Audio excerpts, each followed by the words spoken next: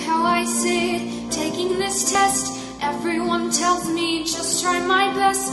Couldn't this torture wait till after lunchtime?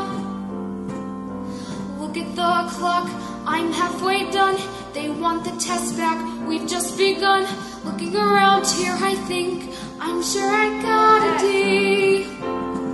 Well, I studied all night, well, I tried to, but there's stuff there I've not seen before. Fractals, too many. I don't get it. Who created this world?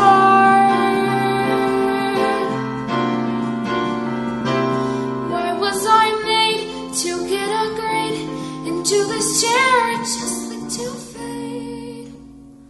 When is my chance to take a glance? The test of. Never.